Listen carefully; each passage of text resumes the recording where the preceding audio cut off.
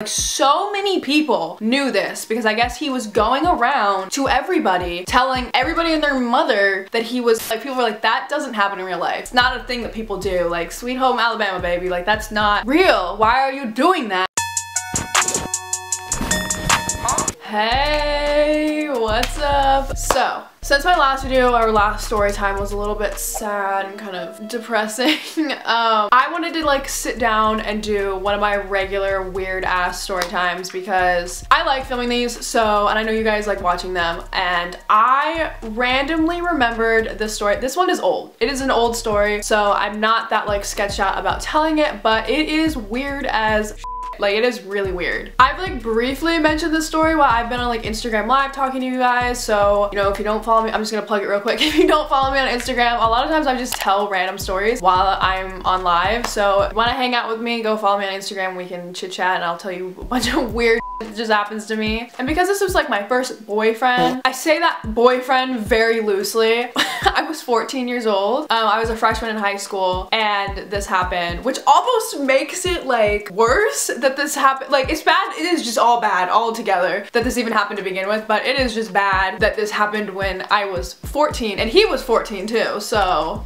and she was 14. All of us were 14. We were all freshmen in high school. Gonna give you the whole backstory of how I met this person, life in high school when I was 14 years old. Okay, so let's just get in the story. So I've mentioned this a couple times in other videos, but I went to an all-girls Catholic high school. Um, and if you know anything about that, if you know somebody that went to an all-girls Catholic high school, like you know, it's not all holy up in there. So because we were all girls, we had a brother school. The brother school was all boys. They were like down the street from us. We had like mixing events and stuff like that. You had a chance to meet people that were guys. When we were 14 and like freshmen and they were like mixing us all together doing like the freshman mixers, it was like feral absolutely feral. People were getting into relationships like the second time they met somebody. Not even the second. Like I remember one time we had the, we went to the fair in our state. People were like dating by the end of the, the date. I was like, you guys met 20 minutes ago. Anyway, we had all these mixing events. So that's how I met this person. This boy went to my brother's school. I'm just gonna insert a picture in here for context. I will tell people that I was ugly growing up and they're like, no, you, how could you be ugly? Which is, that's very sweet, like thank you. But a girl was looking like a wet rat. Like I looked so bad. I had hair up to here, had not grown into my nose whatsoever. I was like extremely thin. I've always had really big teeth um, and I had full braces, full metal mouth going on. I had these horrific side bangs, but that was like, that was cool back then. So like, I'm not hating on that much. But what's wild is during this time when I looked like a tiny wet rat, I got probably more attention from guys than I did when I had like my glow up. I always went to these mixers with the impression that nobody was going to even give a about me. I, I kind of was, I was self-aware that I was ugly because in middle school when everybody was getting into like their first little like and they're both boys relationships that were like a bunch of BS. I was not participating in that. I did not get picked by anyone. I wanted one. I wanted a middle school little fling, but like nobody wanted me. Because we were an all-girls high school, we didn't have football games, but most of us would attend our brother school's football games. They had a really good like football team, so the games were actually like pretty fun to go to. Um, that was also an opportunity for you to go meet boys. and I met this boy. I thought he was super cute. This is not this is not the boy that I'm gonna be talking about, but I'm just gonna give you the full story. I met this boy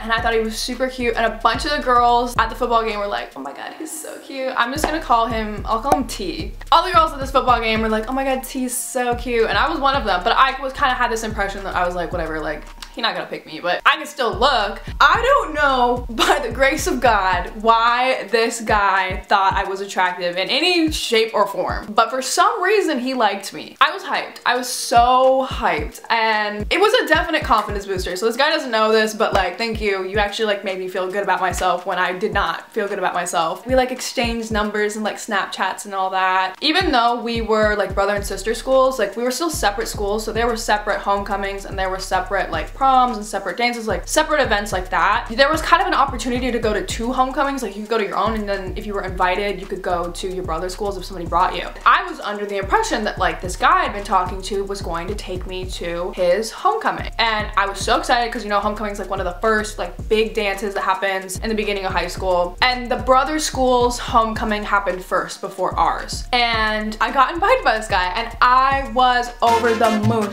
because like I said, you had to be like invited accepted even though they were our brother's school because one of the guys had to take you. And like, so not every girl at my high school got to go, but like a good chunk of them were going because everybody was feral at that point. That's when my parents dropped the bomb on me that for some reason we had to go to Chicago the weekend of my brother's school's homecoming. And I, now in hindsight, it was not that big of a deal. But when you're that age and you were like looking forward to something and a boy had asked me kind of out, it, it kind of felt like the end of the world. It did feel like the end of the world. I had a meltdown, I'll be honest. 14, I was yelling. I was like, no, you can't make me go to Chicago. I'm not going. Like, why do we have to go this weekend? Like, my parents were like, no, you have to come because we have to go and you're too young. My brother's even younger than me. And I was like, absolutely not. I'm not going. Like, you can't make me go. I'll go stay with grandma. Like, please. I was freaking out. And they were like, this is not a big deal because it wasn't my homecoming. They didn't really care because there were two opportunities to go homecoming, the brother school and the sister school. And I didn't go to the brother school. To me, to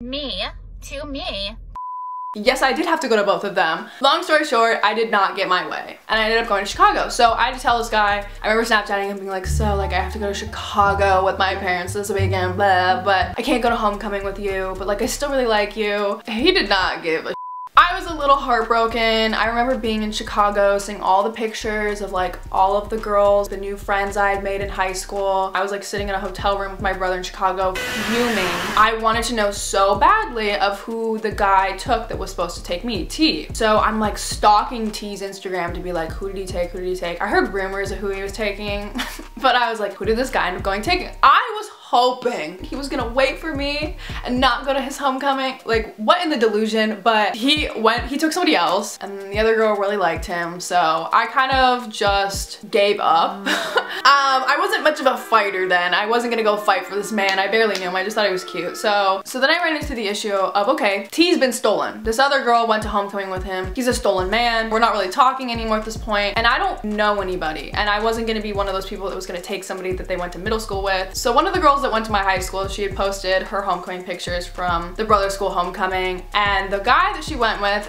was really cute. And I was like, oh, I wonder if she likes him or if they just went as friends. But like, I, I want to figure out what's going on here because I like this guy. I'm not a homewrecker. I've never been. I wasn't gonna go sabotage anything, but I just wanted to know what her vibes were. Like, if you don't want him, I'll take him. So call this guy Zach. We'll call this guy Zach. I was trying to be like sly, but I was like talking to people. I was like, so do you think that um Katie's gonna take Zach to homecoming because Zach took her? People were like, I don't think she likes him like that. And I was like, oh, okay. I go to another football game. I see Zach there. Katie's not talking to him, not interacting with him. I'm just kind of standing there and I think somehow I like like weaseled my way into like a big group conversation that he was in. Zach starts talking to me and he was like very forward about it too. Like there was not really like does he like me, does he not? He like immediately gravitated towards me and then kind of like separated from the group conversation to like just talk to me. We were like hitting it off. He was super nice. Um, this is a picture from this exact night. So this is what I looked like.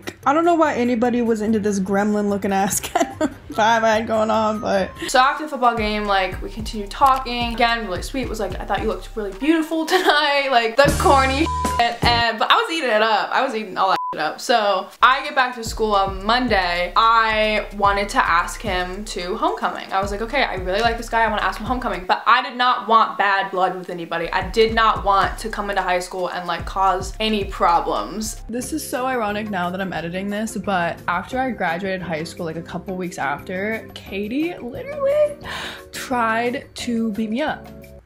Literally tried to beat me up for no reason like literally for no reason i did i like don't really know her that well i didn't really know her that well and i was at a like party thing and she tried to beat me up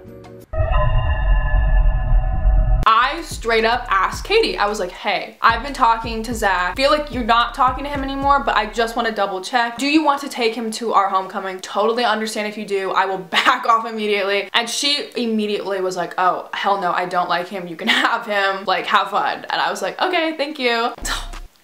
I asked her to homecoming in the most corniest way. I asked her to homecoming in the most corny, corny way. The following weekend at the next football game, we literally would only interact when we went to football games because it was just like every Friday, the football game in the fall. You went, you mingled. I was like, okay, this Friday, I'm gonna ask Zach to homecoming. So I took a little piece of like printer paper and I got like a little bottle of Fanta, like the orange soda, and I wrote like, it would be fantastic, but like I cut out the word like Fanta in it to go to homecoming with you. And I just like got there. I was so awkward about it. I was so awkward. I just got there and I was like, hey, meet me by the bleachers on like the left side or whatever. I told him where to meet me. I pulled out the piece of printer paper like all folded up and gave him like the little soda. And he said yes. We took this picture of me. He was giving me a piggyback ride and my friend's like, oh my god, this is so cute. Hi. No, thank you.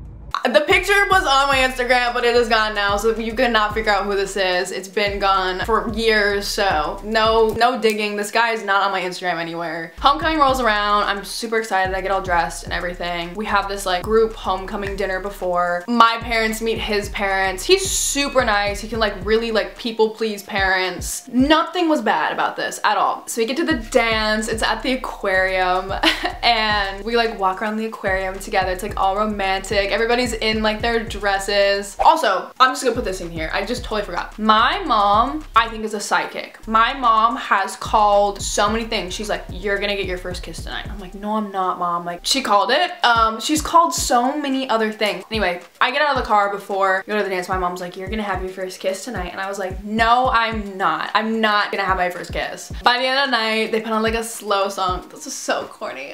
they put on a slow song. We're like slow dancing. And he like leans into kiss me and we had our first kiss. And then right there, he's like, will you be my girlfriend?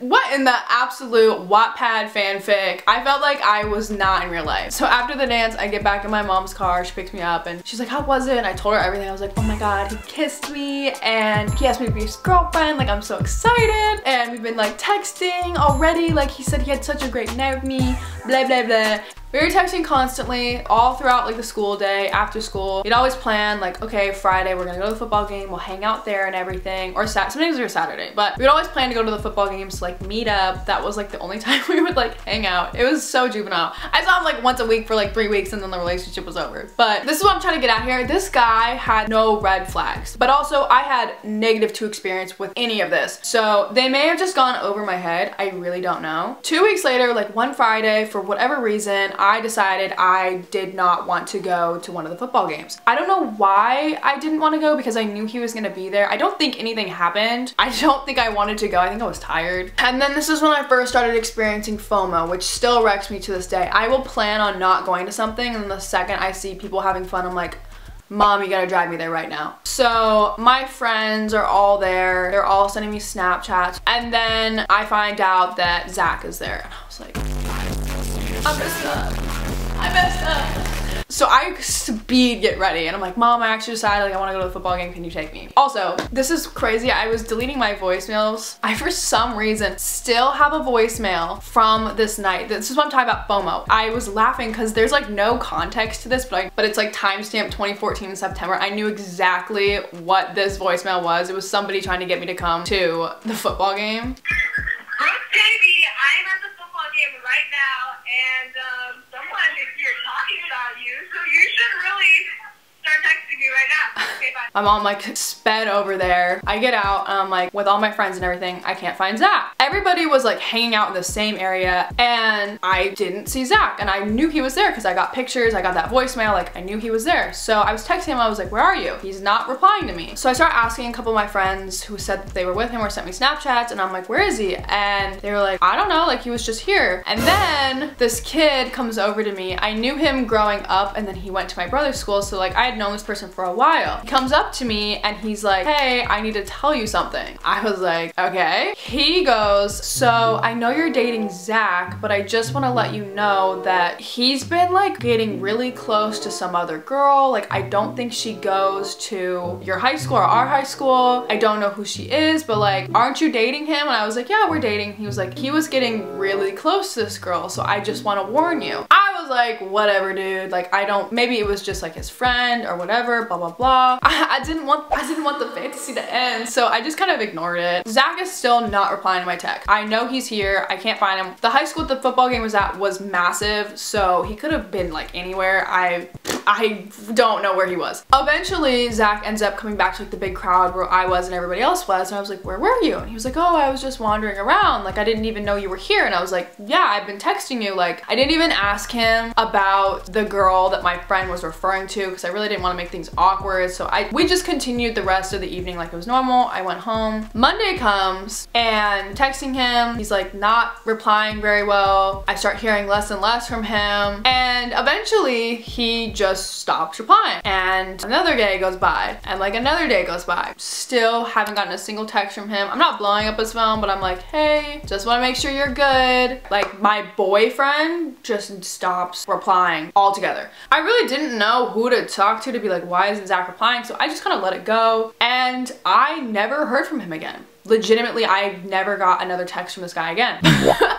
um, so that's like how we like broke up. I didn't go to the football game I think that weekend because I was upset. I, I think I was being petty. I was like, this dude won't even reply to me. I'm not even gonna like go to the football game on the chance that I see him. Like I don't even want to talk to him. So I didn't go. Still no text. I never hear from this guy again. So I come back to school on Monday after I skipped out on going to the last football game. I think it was like the last one possibly. I don't quite remember. The football games were not that crucial. It was just like the meeting spot where I would see Zach.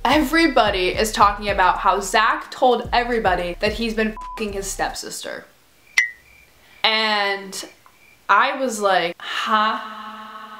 Excuse me? And more people and more people were like, yeah, yeah, like he was talking about it at the football game. He's been like telling guys that he goes to school with. And like a lot of the girls were dating other guys at the brother school where Zach went. It was basically like we were in the same high school. So like, yeah, Jack told me that Zach was telling everybody. And like, yeah, I also heard that. Like so many people knew this because I guess he was going around to everybody telling everybody and their mother that he was his stepsister because they weren't blood. Oh, hell no. So this man decides to ghost me, never speak to me again, out of literally nowhere. And then I find out from literally half my high school that um, he is hooking up with his stepsister. When is it my turn to be happy? I text him one more time and I'm trying to get a hold of him. I didn't even say that I knew anything about it. I just texted him one more time and I was like, hey. And the text didn't deliver.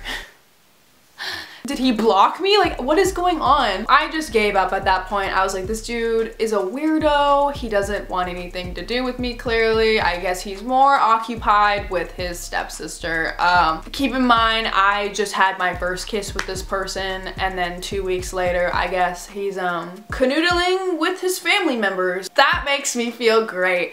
So I know there's probably people that are gonna be like, there's no way, there's no way. I have proof, the only form of proof I have, because this happened so long ago, I've had multiple phones, I don't have text messages from 2014. The only proof is I posted on my Finsta one time that has all my personal friends on it. I posted just being like, lol, remember when my first boyfriend like ended up like his stepsister. Does anybody remember that? Two people commented. I'll block out their name. Two people commented that went to high school with me. They go, oh my god, I remember when people told me about his stepsister and I was like, holy shit, Brooke dodged a bullet. Another kid who went to high school with him was like, did he go to the high school that they went to? Because I know exactly who you're talking about. I guess he thought it was like cool. Like he was like, high five bro, like I, my stepsister, what's up? And like people were like, that doesn't happen in real life. It's not a thing that people do. Like sweet home Alabama baby, like that's not real. Why are you doing that? Months later, the brother school would have these like informal dances. Like you didn't have to be invited to go, you just had to go to either my school or their school. And that was the first time that I had seen Zach since we broke up. I've never told him that I knew. How do you even bring that up? I just don't know how to bring that up in casual conversation at all. And it was so awkward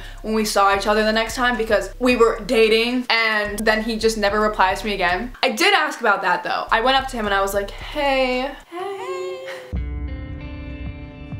hey. He told me that his phone broke. He told me that his phone broke. He said that he dropped his phone, it shattered, and it took him like multiple weeks to get a new one. And he like, I think he told me he still didn't have a new phone yet. It was the weirdest response. And then like, we just never talked again.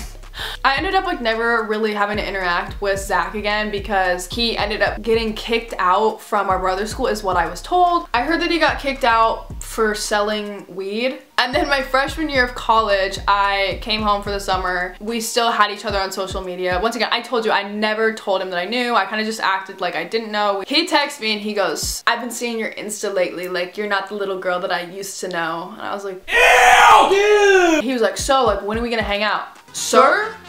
Sir. It has been four years and I know that you did very bad things with your stepsister. I have no desire of ever hanging out with you. Um, I just never replied and then I think he unfollowed me on Instagram because I think he was salty. But yeah, that is the story of how my first boyfriend that I ever had cheated on me with his stepsister. If you guys like the story, make sure to give it a big thumbs up. As always, make sure to click the subscribe button if you're new here and the notification bell so that way you get notified every single time I upload a new video. Thanks for watching. I'll see you guys next time. Bye!